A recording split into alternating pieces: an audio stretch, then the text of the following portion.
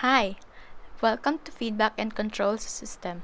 For this video, I'll be discussing block diagrams. So if you want to know more, then please keep on watching.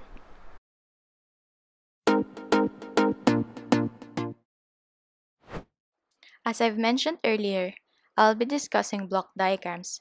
To start the discussion, let us first define what is a block diagram. Block diagrams consist of a single block or a combination of blocks. These are used to represent the control system in pictorial form. This figure shows what a block diagram looks like. The three basic elements of a block diagram are a block, the summing point, and the takeoff point.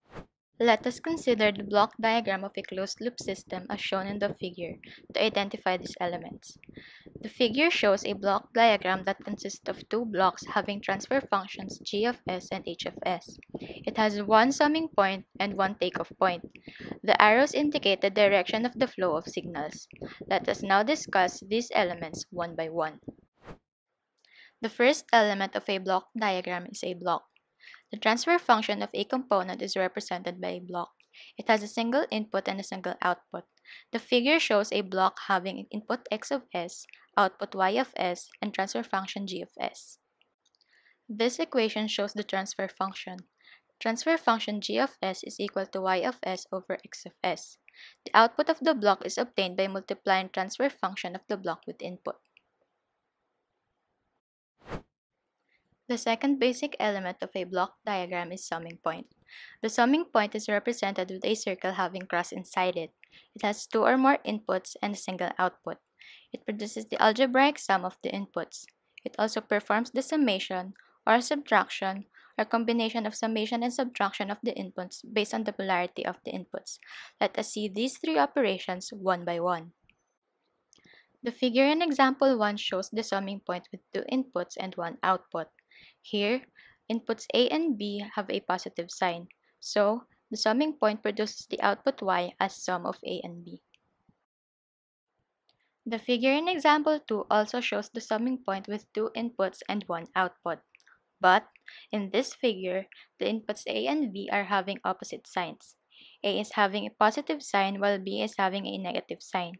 So, the summing point produces the output y as the difference of A and B.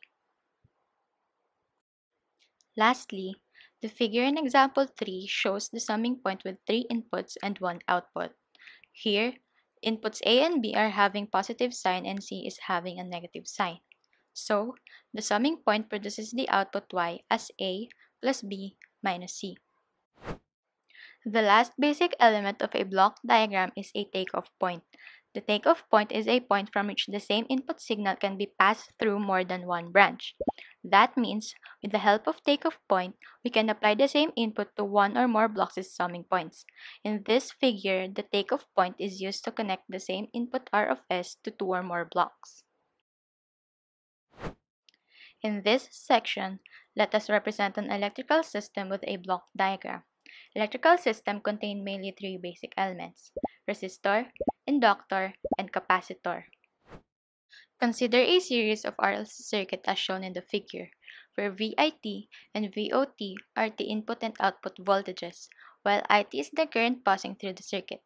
If you notice, this circuit is in time domain. By applying the Laplace transform to this circuit, we will be able to have the circuit in S domain. This is shown in the following figure. From that circuit, we can write Is is equal to VIS minus VOS over R plus SL.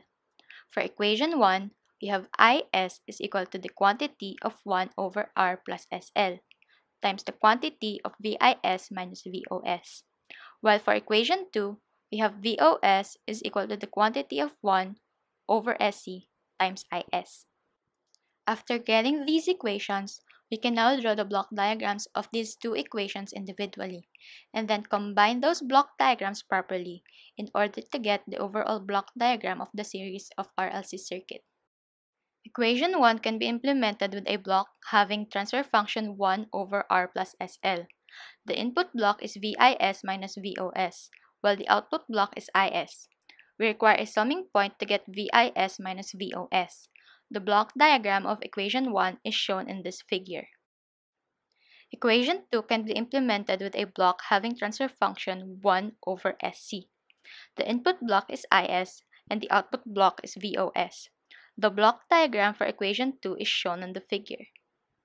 Lastly, we combine the block diagrams of the equation to arrive at the overall block diagram of the series of RLC circuit in S domain.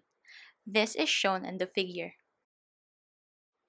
Here are the steps on how to draw the block diagram of any electrical circuit or system. The first step is to convert the time domain electrical circuit into an S domain electrical circuit by applying Laplace transform. Second is to write down the equations for the current passing through all the series branch elements and voltage across all shunt branches. Third is to draw the block diagrams for all above equations individually. The last step is to combine all these block diagrams properly in order to get the overall block diagram of the electrical circuit in S domain. Thank you for watching. I hope you learned a thing or two. Till next time, bye!